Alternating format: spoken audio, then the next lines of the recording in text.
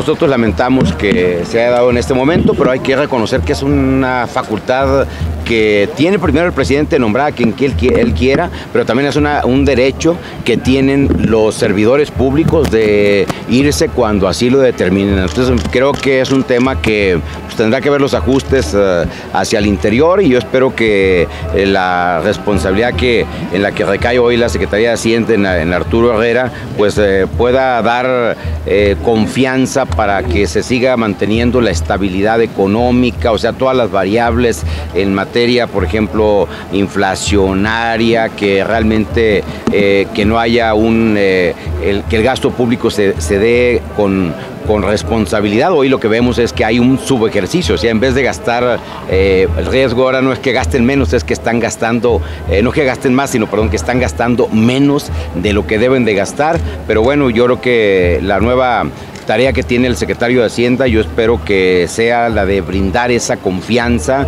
eh, a todos los sectores. Eh, la Secretaría de Hacienda juega un papel muy importante, no solo hacia el interior de las instituciones gubernamentales, sino hacia la sociedad, porque es finalmente el referente más importante para los mercados internacionales, para los inversionistas. Así es que pues, yo espero que este cambio sea para mejorar, sea para que se fortalezcan las cosas. Si hay, hay hay algo que eh, mejorar, es el momento, son siete meses apenas de este gobierno y creo que hay tiempo para poder eh, enmendar cualquier cosa que no se haya estado haciendo. Se dice que Herrera, es buen perfil, ¿no? Herrera es buen perfil. Se Herrera creo que cubre las, el perfil, indudablemente es una gente que no es improvisado en esta materia, ya, ya estaba en la propia Secretaría, tiene experiencia en el sector financiero de tiempo atrás, entonces yo creo que el perfil, el, además es una gente que ya estaba ahí, entonces eh, no hay un, cambio pues eh, eh, de fondo o un cambio radical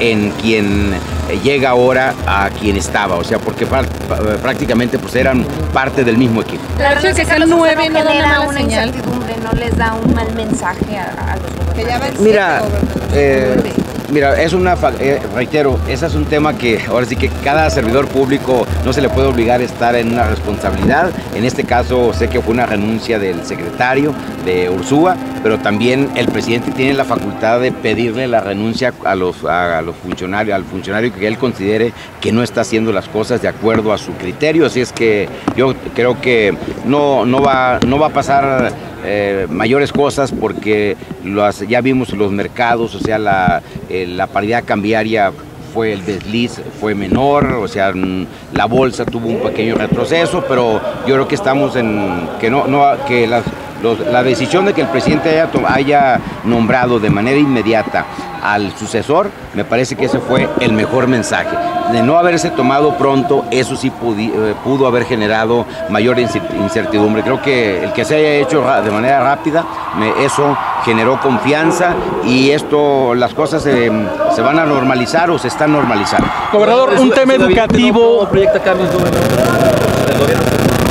momento también es un tema que no, no, se ocupan anunciarlos, o sea, eso es la facultad que tiene el gobernador cuando así lo considere. Igual si alguien se quiere ir, también eh, se puede ir en cualquier momento. Gobernador, un evento educativo, ¿qué tanto se ha avanzado en ese tema, sobre todo en deserción escolar, por ejemplo? el, Durango tiene eh, niveles que estamos por encima de la media nacional. Eso no quiere decir que no tengamos problemas, eh, que no tengamos retos.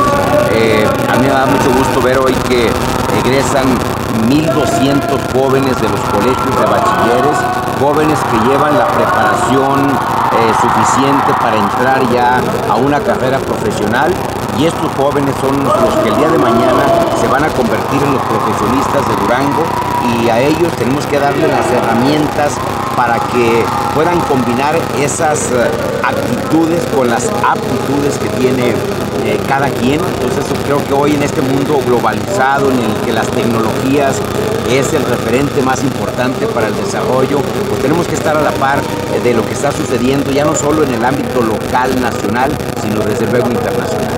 Gracias, Gracias,